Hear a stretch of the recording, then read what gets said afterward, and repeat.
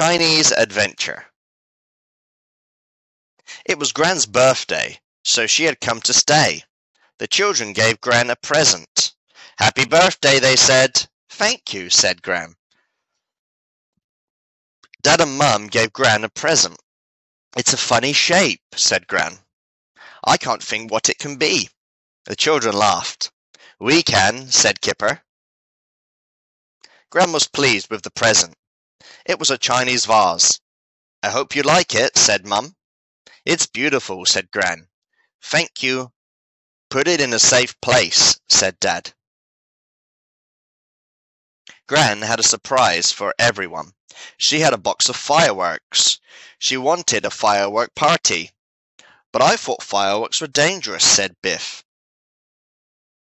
Fireworks are dangerous, said Gran, so children mustn't play with them. Mum and Gran got the fireworks ready. They were very careful. The children stayed out of the way. Nadim and Anneena came to the party. Everyone was excited. Gran let off a big firework. Ooh, said everyone. What a beautiful firework, said Chip. Dogs don't like fireworks, so Floppy stayed inside the house. Suddenly, a firework made a loud. I don't like this, thought Floppy so he hid under a little table. It was time to have tea. Mum had a surprise for Gran. She had a birthday cake with lots of candles. Happy birthday, Gran, said everyone. Biff went into the front room to get her camera. She saw Gran's vase on the floor. The vase was broken. Oh no, said Biff. The children went to Biff's room. Biff showed them the broken vase. Gran will be upset, said Chip, and so will Mum and Dad. I hope we can mend it, said Biff. Suddenly the key began to glow. The magic took the children into a new adventure. Oh no, said Biff. I wanted to put the vase back downstairs. The magic took the children back in time. It took them to China long ago. Nadim knew where they were. We are in the Forbidden City, he said. Why is it called that? asked Chip. The Emperor lives here, said Nadim. He lives here with his family. Other people are not allowed to come here. That is why it is called the Forbidden City. There was a fierce dog in the Forbidden City. It didn't like Floppy. The fierce dog growled and barked, but Floppy didn't want to fight. Stop it! shouted Chip. Some women ran up and grabbed the dogs. The children were worried. Oh, help, said Chip. The woman took the children and Floppy to the Emperor. What are you doing in the Forbidden City? he shouted. People are not allowed in here. The Emperor called his soldiers. Put them in prison, he shouted. That will teach them to come to the Forbidden City. I think we've upset him, said Biff.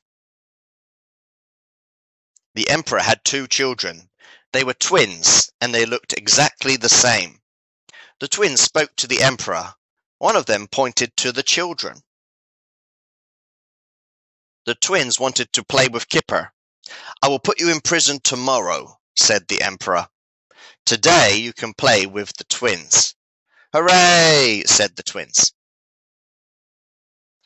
The twins had never played with other children. They didn't know how to play football. One of the twins kicked Nadim. Ow, said Nadim. That was my leg. Suddenly the ball rolled away and fell down a grating. Oh no, said the twins. Now the ball is lost. Both the twins began to cry. Biff and Chip pulled up the grating. Nadim could see some steps. He began to go down them. Hurry up, said Biff. We don't want the Emperor to put us in prison. Nadim went into a big cellar. It was full of cobwebs and dust. Nadim called the others. Look at these giant vases, he said. They look like Gran's vase. Some people came into the cellar. They were the Emperor's servants. They didn't like the Emperor. They had barrels of gunpowder. because they wanted to blow up the palace. The children were frightened. They hid inside the vases. The people didn't see them. We'll come back and blow up the palace tonight, said a man. The children ran to the emperor. They told him about the gunpowder under the palace. Some people want to blow up the palace tonight, they said. That night the people came back. The emperor's soldiers were waiting. The emperor was pleased with the children. I won't put you in prison now, he said. The emperor had a big firework party. There were lots and lots of fireworks. They lit up the sky. Everyone gasped when the fireworks went off. Biff thought of Gran. I wish she was here, she thought. Gran would love all these fireworks. She'd love this adventure.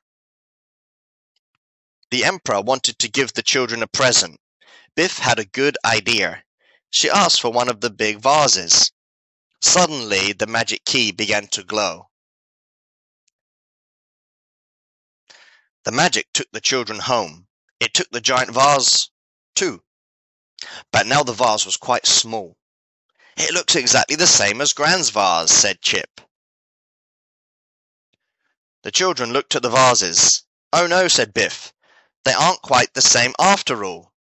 The new vase has Chinese writing on it. Do you think Gran will notice? The end.